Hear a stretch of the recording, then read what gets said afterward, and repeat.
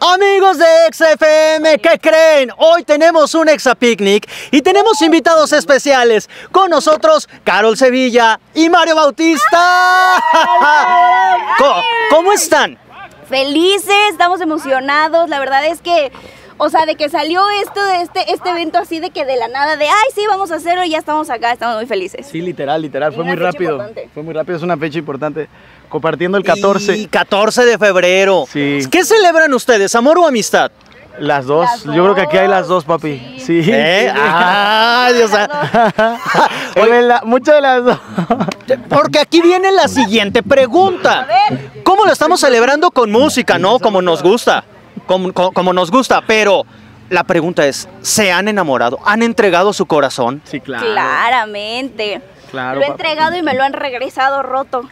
Y no me digas eso. Pero eso es bueno, eso es Pero, bueno porque ajá, al final ¿por del día, cuando tú entregas tu corazón y luego te lo regresan, te están regresando a ti.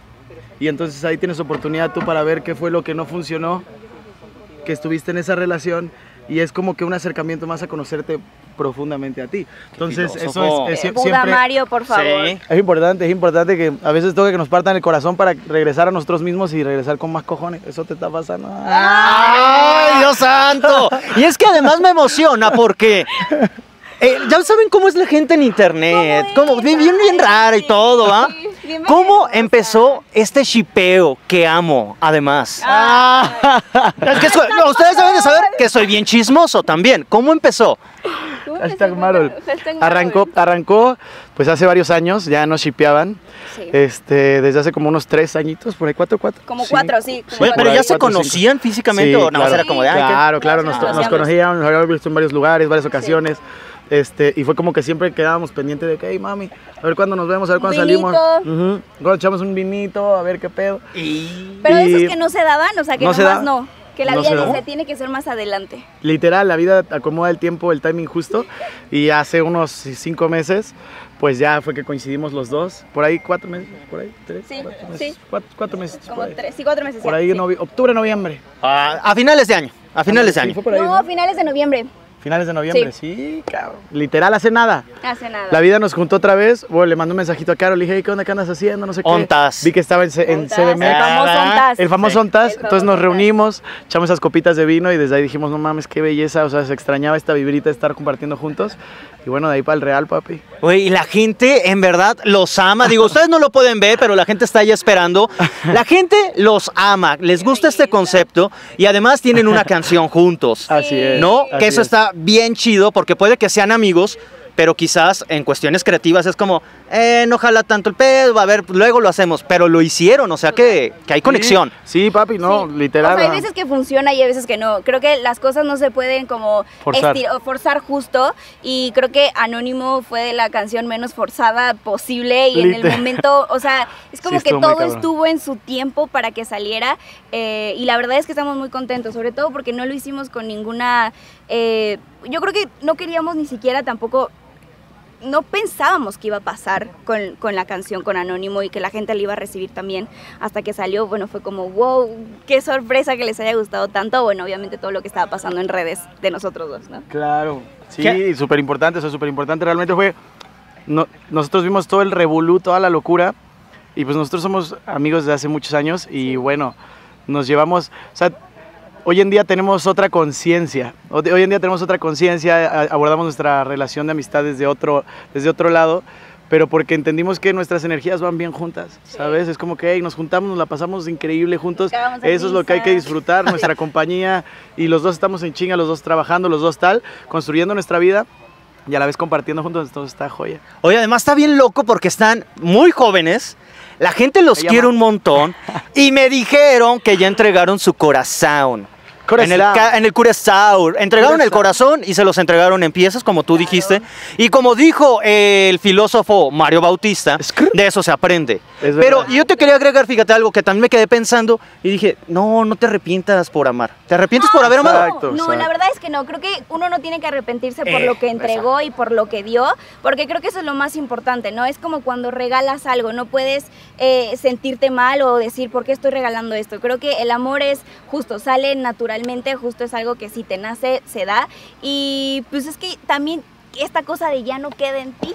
¿no? O sea, Y- como que es como que, bueno, Sí. yo, entregué, yo entregué todo Amén. y ya si no recibí lo mismo, pues ni modo, o sea, ya es un aprendizaje para Tú el das lo que eres amor. al final Sí. del día. Tú das lo que eres y cada uno da lo que es. Entonces ya no está en ti. Y es que mediáticamente ustedes, vaya, uno como persona normal puede enamorarse, lo terminan, lo engañan y no pasa nada. Ustedes no.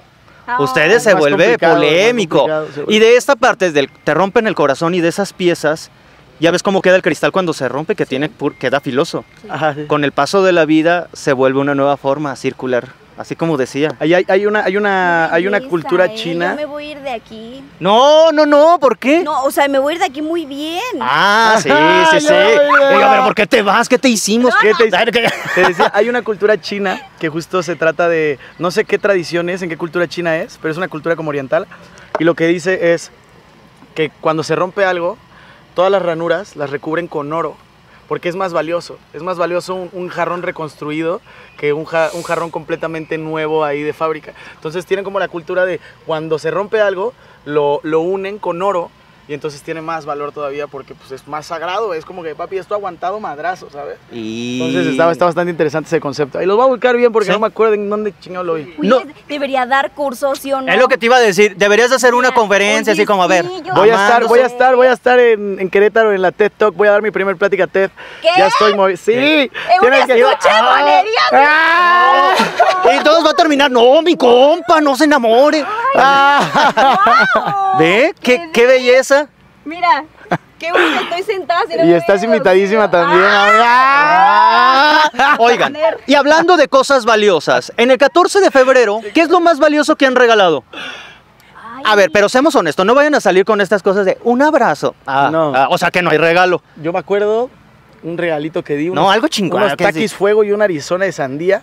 Pero era porque Mario. a la chava que se lo regalé. ¡Güey! Mario, por favor, no tenía te hagas 15 esto. años, tenía 15 años. A ver, Pero es me que- acuerdo que a la chava que se lo regalé me dijo, no mames, ¿cómo me conoces? O sea, fue algo muy cabrón, unos taquis y una Arizona. Y dije, wow, el- todo está en los detalles, ¿no? O sea, porque cuando conoces a una persona, es más, yo creo que es más valioso que te regalen tal vez un estuche de panditas rojo porque son tus favoritas y la persona se dedicó a buscar panditas rojas y te las hizo y ahí se ve como el detalle a que te regalen un reloj o una bolsa de que, hey, órale, ahí está tu bolsa, Y- feliz día, mi amor. Y tienes un video que lo explicas. De, uh, de cuando lo sacaste hace años. Cabrón, ¿cuál? Pues hace años. ¿Cuál video? Hablando de panditas. Ay, ya pensé que estaba tu equipo acá. No, Bueno, de pandita. A ver. ¿Tú? Ahora sí me explotó te el lo juro cerebro. que sí, te lo juro que sí. Me lo tienes que recordar, cabrón, ya me acuerdo yo. Ay, Ahorita lo vamos a buscar. Ah, Órale, súbalo, súbalo, a ver qué pedo. Yo, ¿sabes qué? Ah, Perdona. Nos están llamando, que se acaba la Ay, entrevista. no, la verdad bueno, ni modo, fue. Carol. Luego nos cuentas, luego nos ir, cuentas cómo te fue. tenemos que ir, Nos ya. tenemos que ir, ¿cómo crees? Ya valió. No, no es cierto. ¿Qué es lo más valioso que has regalado? Mira, la neta es que yo en mi momento más humilde, eh, Ah. yo eh, fui a comprar todo, todo así de que todo, era una caja de zapatos y la decoré y la armé y le hice con fotitos y todo, y o sea, yo lo di todo Bien. ahí en esa caja. Y. Bueno, bueno, sirvió. No, Sirvió. No, ya se acabó. Bueno, ya, ya nada más te hicimos enojar. Ya nada más le hicimos enojar. Pero lo dio todo, pero lo dio todo. Ya no, ya no, pero así celebramos el 14 de febrero en este Exa Picnic.